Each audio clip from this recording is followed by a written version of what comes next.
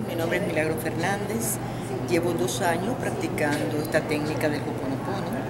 Mis experiencias han sido muy grandes, muy maravillosas, sobre todo encontrar en esa búsqueda de la verdad, tener paz interior, haber aprendido a soltar, a confiar y desaparecer de mi vida la palabra preocupación.